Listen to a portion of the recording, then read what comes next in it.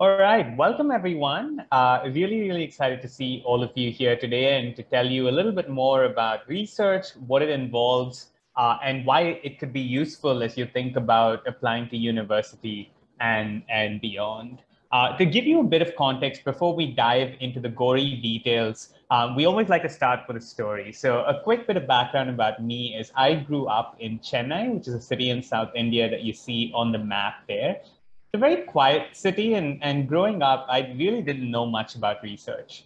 Um, in fact, I don't think I knew a single person who had a PhD.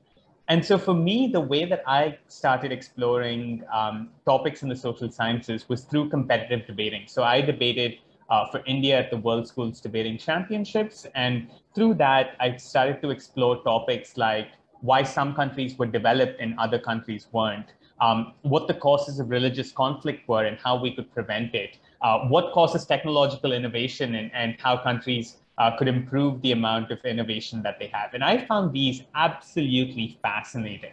Um, and I wanted to dig deeper, but didn't have very many opportunities to do that in high school. And so decided that I needed to apply to university abroad. Uh, ended up applying to the US, where I did my bachelor's degree in economics um, at Harvard and, and had a fabulous four years there.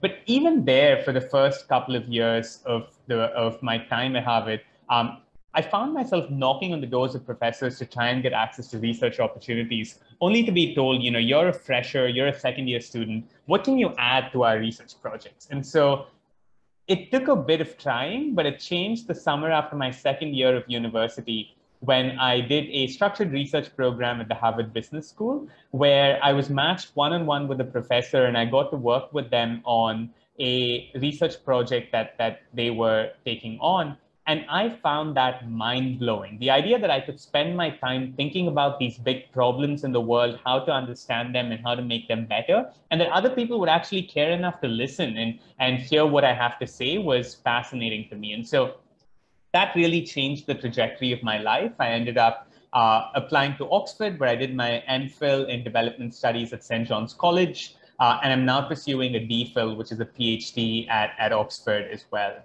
But that summer also changed my trajectory in another way. I met Stephen, who's the, the other young man you see on the screen there. And unlike me, Stephen came from sort of a lineage of researchers. He um, was the son of a professor at a business school in the US. And his great grandfather, Fritz Kahn, had been a prominent public intellectual in Germany, whose book you see on the screen.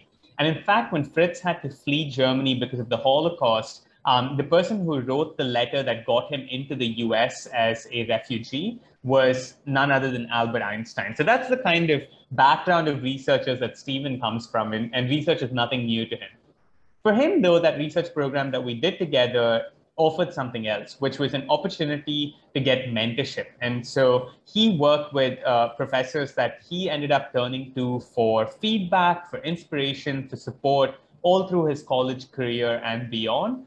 And that's how he ended up being impacted through the experience of research. And so when Stephen and I started talking together many, many years after we graduated from Harvard, we realized that we had found that research was really, really meaningful in our lives and that we would have loved to have done it sooner. We thought back to the nerdy 17 year olds that we'd been in high school and figured this was an opportunity that, you know, we would have killed to have when we were in high school and that simply still didn't exist many years down. So that's the context in which we started Lumiere. And uh, Lumiere is a selective research program for high school students around the world. I'm going to tell you a bit more about it closer to the end of, of this session. But the goal of this background was to give you a bit of context as to why I'm here talking to all of you, as well as to sort of nudge you in the direction of thinking about research, not just as something that helps with college applications, but something that can truly be life changing and affect how you think about the world and the decisions you make moving forward. So given that, I would love to go around the room and do introductions, but I think that might end up taking longer than we have. So I'd love if you could put in the chat if what areas you're interested in doing research in. So this could be as specific as saying, I'm interested in, you know, the genetic markers that cause sickle cell anemia, or it could be as broad as saying, I'm interested in history or I'm interested in Latin. So use the chat and, and send over um, what you think if I put a gun to your head and said you had to do research right now, what you would be, what you would do research in.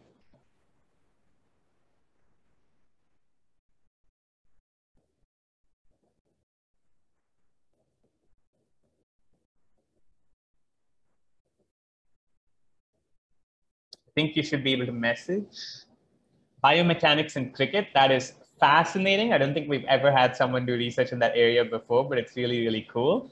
Um, as well as uh, um, uh, aeronautical engineering.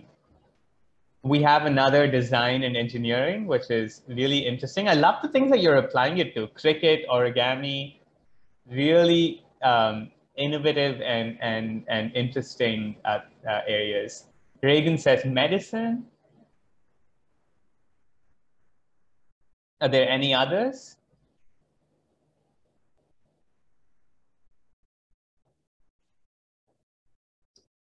Fabulous, the law and ethics.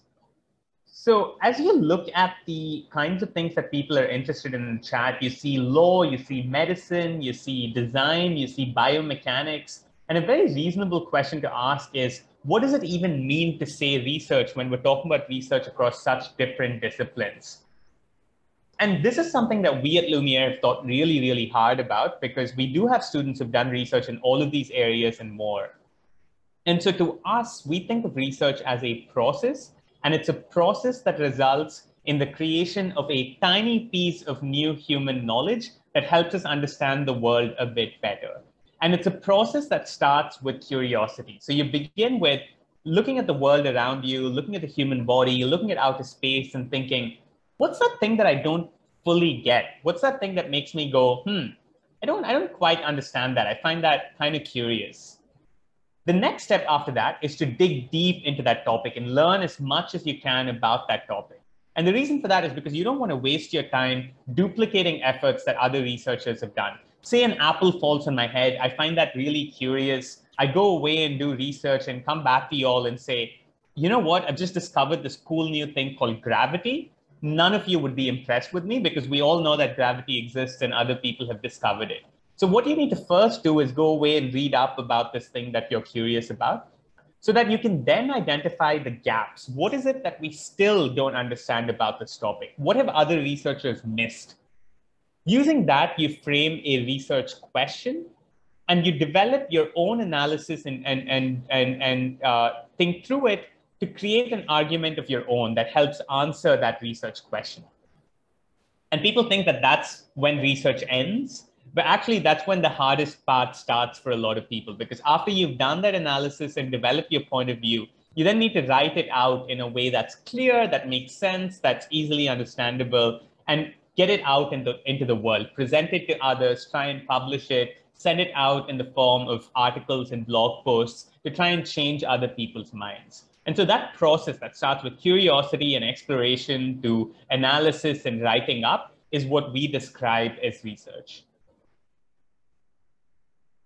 And now what I want to dive into is that third step, because I've said we can do analysis, but we haven't really talked about what that analysis might look like. So we're going to talk about that in just a second, but I want to pause and see if there are any questions at all. I know that this is a lot of pretty dense material, and, and I'm glad that you're all here and, and listening in, you're certainly far more advanced than I was when I was in school. Um, but if you have any questions at all, please feel free to put them in the chat or in the Q&A, um, and I'm happy to answer them as I go along.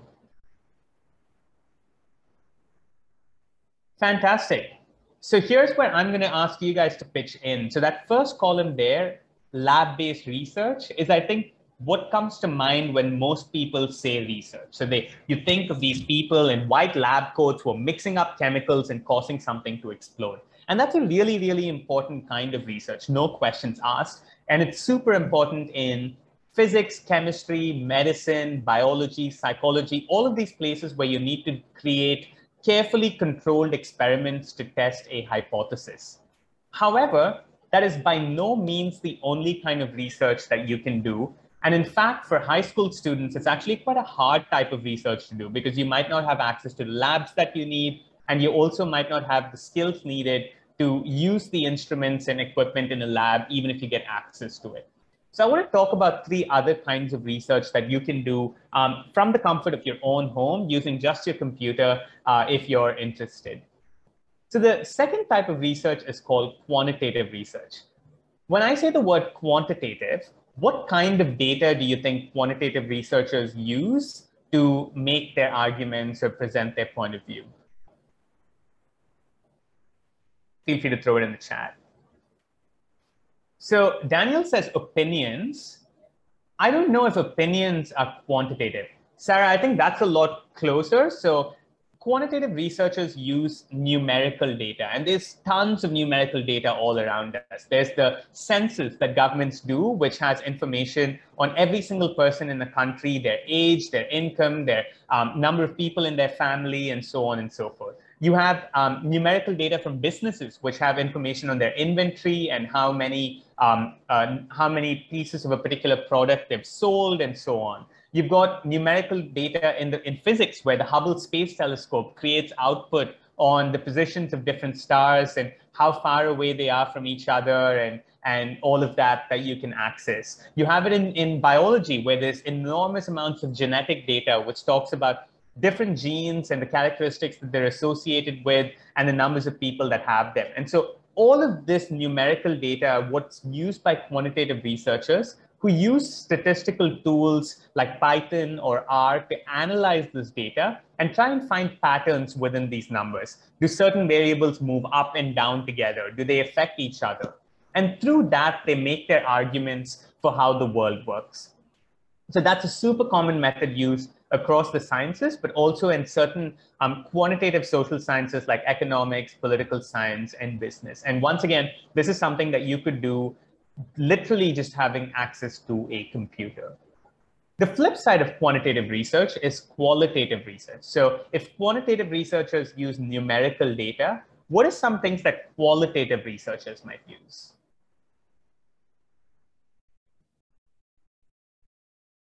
Observations, um, that's, that's a really good one. Anything else that qualitative researchers might use? Opinions, yep, recordings. I love that one.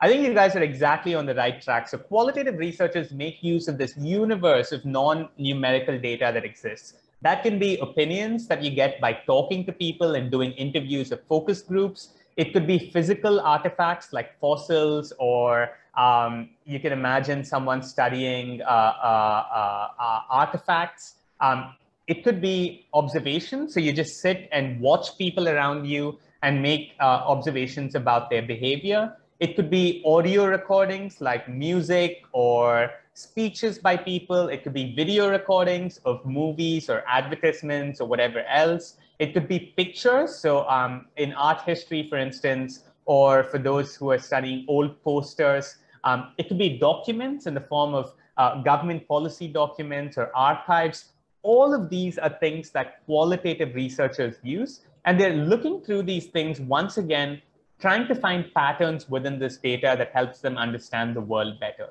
And then they present that in the, in, in, in the form of a qualitative research paper. And this is really common in the humanities and English and history, but also in, in some of the qualitative social sciences like anthropology or sociology. Finally, all three of the things that we've talked about so far, lab-based research, quantitative research, and qualitative research, all make use of data, just data of different kinds. In comparison, a systematic literature review doesn't use data of its own. Rather, it uses existing academic work to try and synthesize it and present a point of view. So someone doing a systematic literature review might read, you know, 20, 30 different papers in the field and present a paper that summarizes all of those different points of view and, and, and explains what the state of the field is and uses those existing papers to make an argument of its own. So that's what a literature review looks like. And it's a really valuable type of paper that helps uh, a layperson or, or someone who's new to the field understand what's going on in that area. And what I find interesting is that I think people don't think about those three latter forms of research very much. And yet, for someone who's in your position, who's thinking about doing research, I think those are definitely the more accessible versions, especially if you're starting out and haven't done research before. So a very reasonable question then is why do research? And I think I have hopefully um, explained some of the reasons why research is awesome to you guys. The fact that it helps you explore an area you might be interested in. It helps you build skills. It helps you understand the world better and make the world a better place. But I also know that you guys are in school and thinking about applying to universities. Um, and, and it's quite important that what you do right now helps you in that next step, whether that's that's um, an internship, a summer program, uh, uh, uh, applications to universities, or whatever else. And I think research is something that can really, really help set you apart, especially when you're applying to competitive Russell Group universities um, or to the US. And the reason is because I think research helps in a couple of different things. The first is that it helps showcase academic excellence. So when you do research, and write a paper, you know, anyone can say they're interested in law or anyone can say they're interested in physics. Very few people can talk in detail in their UCAS essay or in their interview about a research paper that they have written that, that has made use of evidence and demonstrates the level of investment and engagement they have in that topic. So I think in terms of showcasing your academic chops, um, there's nothing like a research paper to help you do that. The second is that you also, especially in a uh, mentored program like Lumiere, you work with a top researcher. And so by doing that, you build a relationship with someone that you can turn to for advice. Should I apply to the uh, to PPE at Oxford, or should I apply to um, economics and management at Oxford? Should I apply to uh, uh, uh a program that is more hands-on, or should I apply to a program that's more theoretical? Those are the kinds of questions that, that you can ask a mentor that I think are really valuable. But you can also go beyond that. And if you build a good relationship with your mentor and, and do good work with them, even ask them to write you a recommendation letter. And there are universities that accept an additional recommendation letter beyond the ones that come from your school teachers. And I think that could be a really valuable way of speaking to your um, abilities and experience.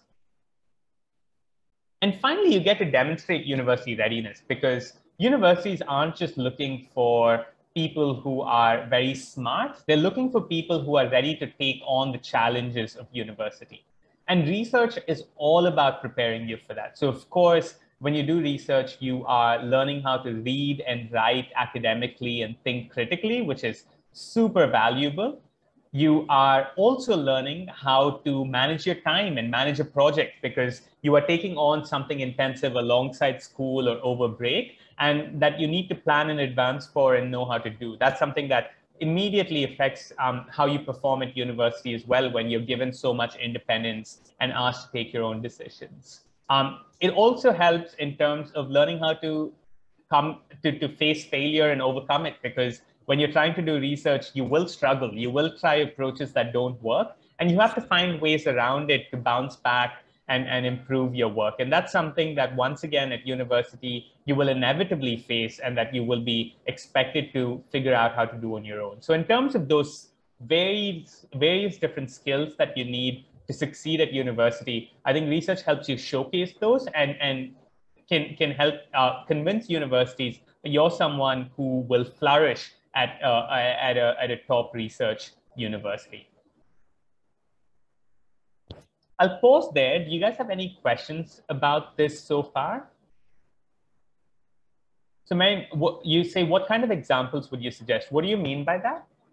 To include in the personal statement. Good question. So, I think a personal statement, especially one that includes research, needs to include three things the first thing it needs to include is why did you do that research project? What are the things you read, that you thought about, that you experienced, that instilled an interest in you that made you want to try and do the research? Because without that, it feels like you just did this research for the sake of college applications. And I know that that's not true for, for any of you.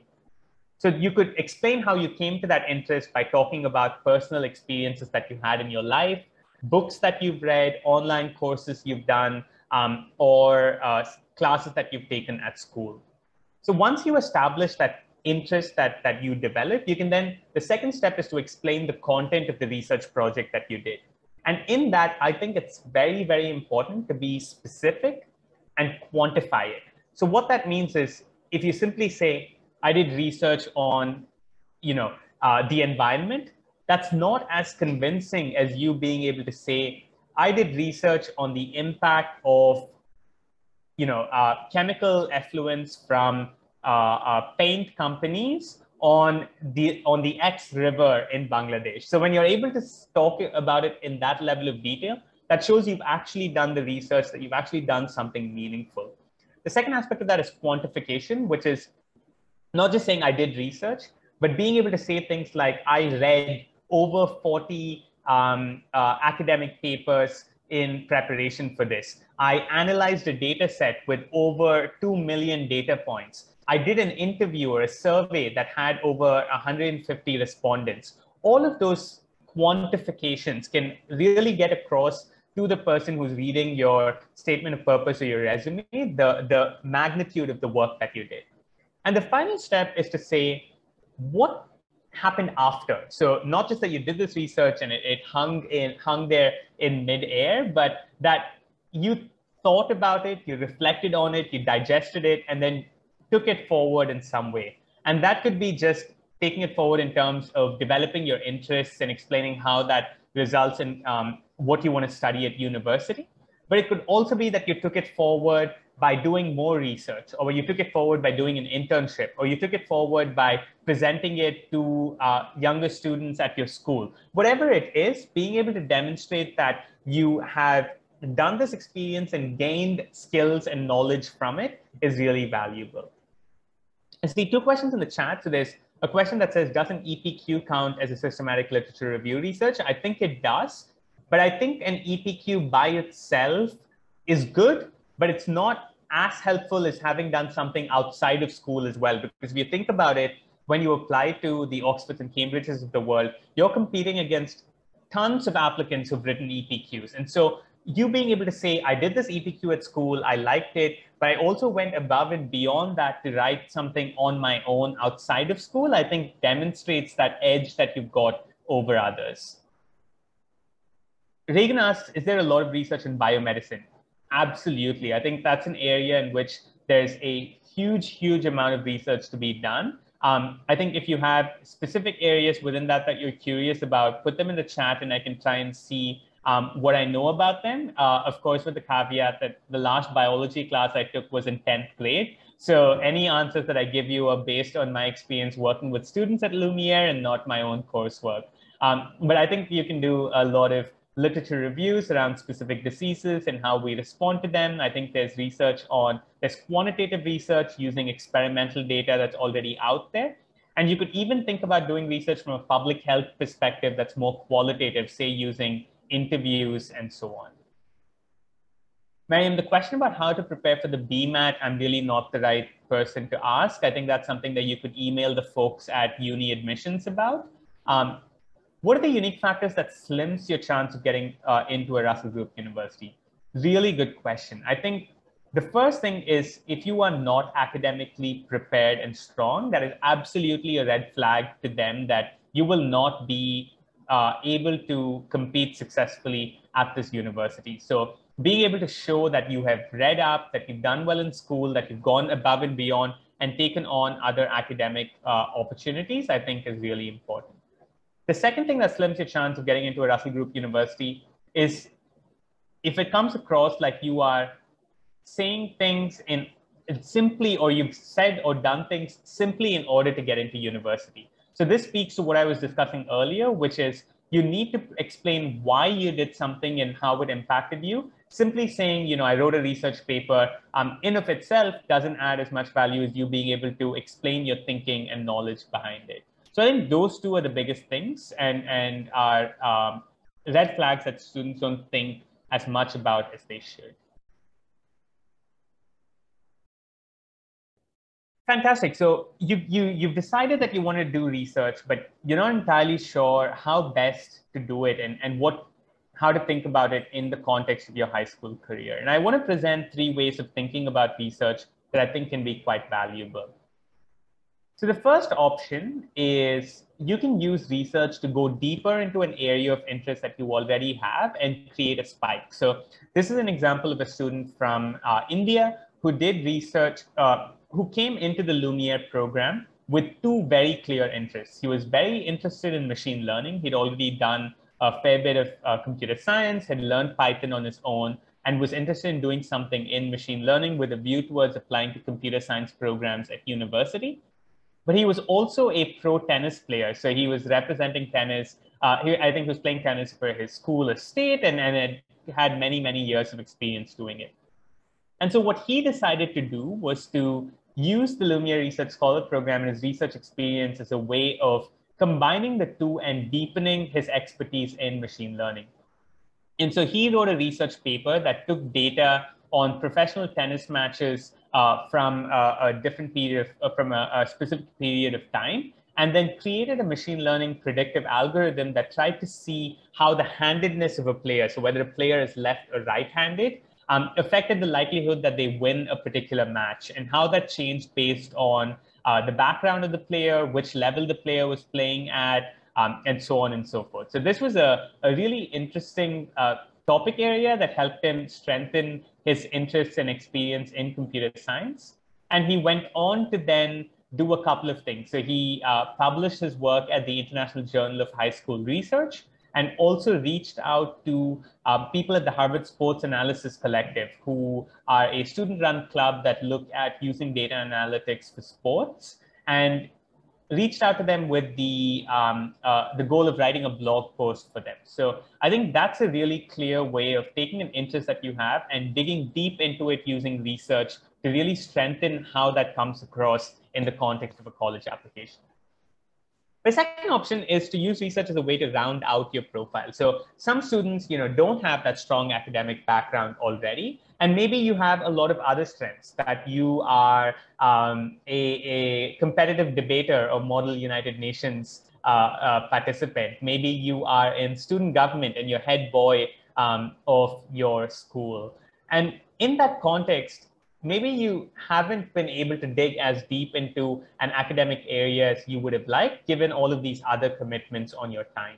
I think the research paper in this context can be a way to um, exp- explore an area, see if it's right for you, and then use that as a way to demonstrate interest in that field. And so this is an example of a student who um, was a fabulous all-rounder. She was um, a competitive manner, was on her student government, uh, but, but used the Lumiere project to demonstrate that she also was skilled at um, uh, uh, uh, her area of interest, which is environmental studies. And she wrote a fascinating research paper on um, how to use data to effectively study the quality of the world's oceans. Um, and that was a pretty significant academic achievement that she could then talk about on her college applications and beyond.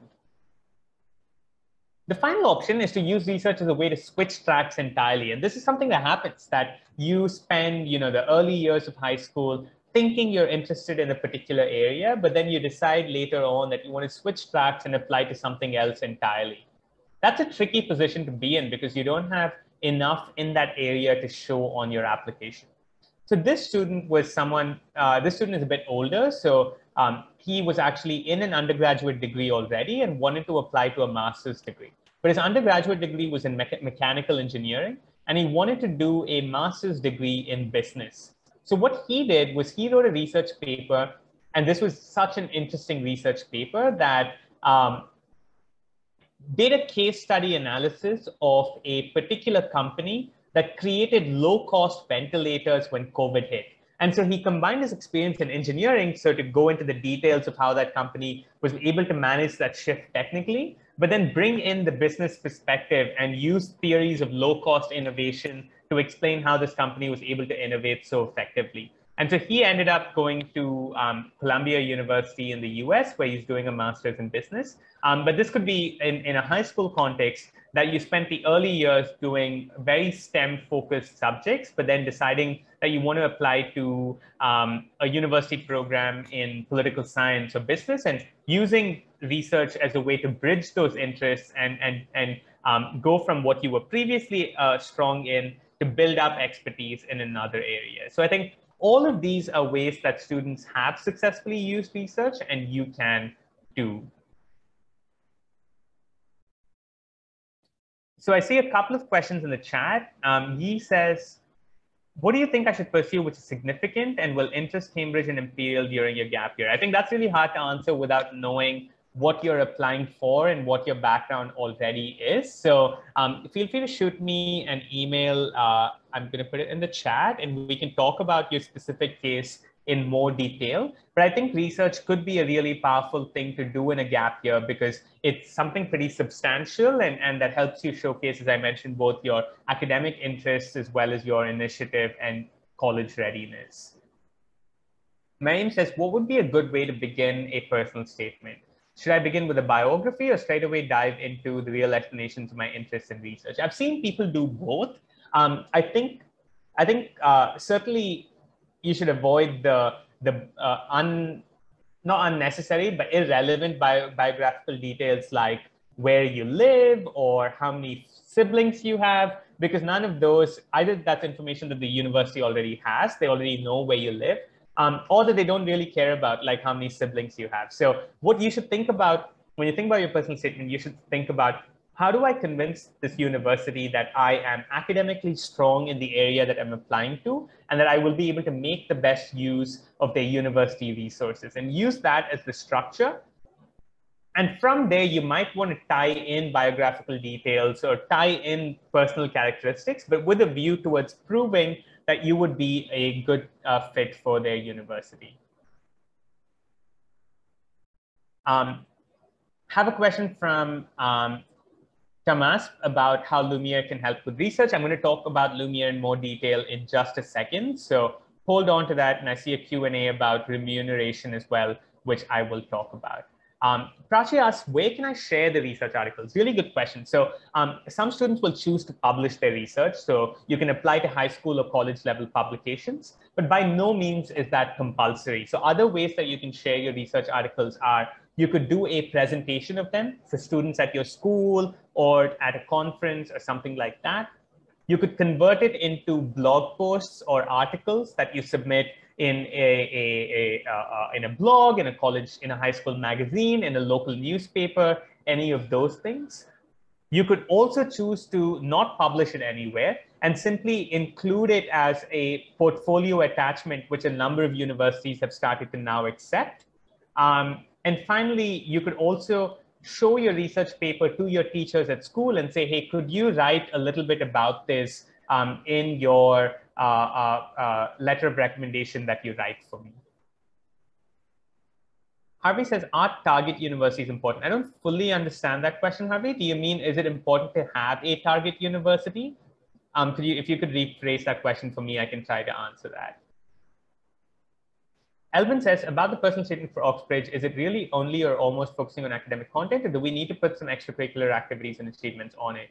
Um, once again, I think you should email the folks at UniAdmissions uh, for this. From my perspective and my understanding, um, I think the Oxbridge application is very, very strongly academically focused. So extracurricular activities are useful um, in demonstrating that you are good at that academic activity, or as a way of providing a bit of context to say, I achieved all of this academic uh, uh, um, expertise and depth while also competing every weekend for the school uh, uh, swim team or school football team, which is which can be a way of showing that you're a really hard worker and that you have taken the initiative to learn about this subject. Um, and I think that that's something that's that's uh, that you could do, but in general, academic focus is important. Tomas says, I heard that publishing a research paper adds more value to your profile than just writing or presenting one. Is that true? So I think this is something that high school students are a little bit confused about sometimes. The actual process of publishing a research paper in a peer-reviewed journal of the kind that you know PhD students or professors might write, might publish in, will take years. You will spend you know a year or two writing and refining your research paper. You will then submit it. It'll go in for evaluation. That could take anywhere in the order of six to eight months. They'll come back with edits or they might reject you, in which case you have to make changes and resubmit. And so it's a very long and involved process. And that's the reason why, you know, I'm in a PhD at Oxford. And, and if, if I look at my classmates, the vast majority of them have only just started to publish work a couple of years into their PhD. So the expectation that high school students need to have published their work is simply not true. And I think colleges understand this. Um, you know, the kinds of people who are evaluating your applications are people like me, professors who are slightly older. And they know that publication is really hard and takes a really, really long time if you are doing it at a good quality publication. So in that situation, I think being able to show that you have done the research, written the paper, and that you have learned from it is good enough in the vast majority of cases. If you are submitting it to a publication, you need to make absolutely sure that you are not submitting it to a bad journal. So there are journals which are really shady and are what's called pay to play, which means that if you give them a few hundred pounds, they will publish your paper, no questions asked. Those actually hurt your reputation and hurt your application because it makes it seem like you are um, uh, uh, pretending to have a publication when you really don't. So the sweet spot is, well, either you spend years doing research and going through the peer reviewed publication process. And if you're able to do that, that's fantastic. Um, or there are also a number of high school and college level journals. So these are journals, for instance, there's one based out of the UK called uh, the Journal of uh, the Young Scientists Journal. Um, there's one called the Journal of Young Investigators. There's all of these high school level journals that have been set up with the specific goal of platforming the work of high school students. And I think those could be a place that you could submit to um, and that you have a reasonable chance of getting in quickly, uh, but also that have a selective um, evaluation process. So um, that's what I would consider, I would recommend you consider if you're thinking about publishing. Ebru asks, have private school students had a reduced chance of getting into Oxbridge? Not my area of expertise, um, so I'm not going to try to answer that question, Ebru. I'm sorry. Um, he asks, what is the latest research you can do to help you stand out in the medical field? I would say don't approach it from that um, angle because that falls prey to the, the second red flag that we talked about, which is universities looking and going, oh, this student is simply trying to do what's cool or what's in vogue in order to try and get in. Rather go into thinking about what is it about medicine that, that you're interested in? What diseases interest you? What parts of anatomy interest you? And from those areas of interest, identify a question that you're curious about that you can build a research paper around. And I promise you that that will result in a better experience and a better research paper that will contribute to your application than you starting from what is the latest research that'll that'll help me stand out going oh maybe that is gene editing technology and then saying now i have to write a paper about gene editing when in reality you're not interested in genetics at all and you're more interested in pharma- pharmacology or something else so i would really recommend that you think about it from the perspective of interests rather than um, uh, simply what what helps you stand out Fantastic. So finally, after your research is done, think about how you can make the most of your research. Reflect on your experience, what it's meant to you, and how it's helped you grow. Think about next steps, whether you want to pursue publication, presentation, other options, and also stay in touch with your mentor if you do it as part of a mentored program, um, so that you can um, uh, continue to turn to them for advice and support and, and potentially even ask them for recommendation letters. And if that sort of excited you and, and you're thinking about research and you want to consider doing it with Lumiere, um, we would love to have you. Over the last year, we've had over 600 students from 30 different countries do the program. These students have gotten into six of the eight Ivy League universities, into Oxford, into Exeter, into LSE. So we've had some fabulous alumni so far, and we would love for you to join them as well. The way it works is we run four cohorts over the course of the year. Our summer cohort is coming up in June. We have a fall cohort that starts in September, a winter cohort that starts in December, and a spring cohort that starts in March. You apply through a written application that you can find on our website. So that's lumiere-education.com. If you are shortlisted for an interview, we then um, dig deeper into your interests and try and understand why you want to do the program. You're then matched with a mentor. and our mentors are all current PhD candidates or postdocs at top research universities in the US and, and the UK. So you can imagine the sort of Oxbridge, LSE, Imperial, um, the Ivies, the UCs, the universities of California, Duke, Rice, those, those types of universities. Once you're matched with a mentor, you then kick the program off. And over the course of 12 weeks, you're meeting with your mentor one-on-one once a week for about an hour. The initial weeks are kind of exploratory. So the mentor is assigning you papers to read or tasks to do with the goal of helping you um, identify what within that area excites you the most. You then pick a specific research question and dive into it for the rest of the program. So from about week four till the end of the program, you're working on writing your 5,000 word paper and, and, and, and turning it into something that you can really be proud of. At the end of it, the mentor writes you an evaluation. Uh, we have a graduation ceremony where we celebrate you, and then we send you off into the wild. In terms of the costs of the program, the individual program, which is a 12 week program, costs 2,400 US dollars. And then we have two longer programs that cost $4,300 and 7,600 respectively. In the publication program, we're helping you identify a target publication and submitting to it. Of course, we don't assure publication because that depends on the target that you're submitting to, but our goal is to help set you up for success in that process. Um, and finally, in the fellowship program, this is for students who are really looking to invest um, a significant amount of time and energy into research that can take anywhere between six to 12 months, and you have up to 30 meetings with the, with the, with the mentor and the goal is really to do something pretty substantial in the area there. So that's what the fellowship program looks like. If you're looking to apply for the summer, our next deadline is coming up in the middle of April, so April 17th. You can apply through our website. Um, but if the summer is not the right time for you, you can also apply uh, to one of our future cohorts. Um, there'll be more information on that um, going up on our website very soon. Um, in the meantime, if you have any other questions, please feel free to email me. Um, I'm putting my email and our brochure in the chat, but otherwise, I hope that was useful. Um, I hope that was interesting, and uh, thank you all for being here. Uh, research really has changed the trajectory of mine and Stephen's lives, and I hope you join us in, in this journey and give it a chance to change yours as well.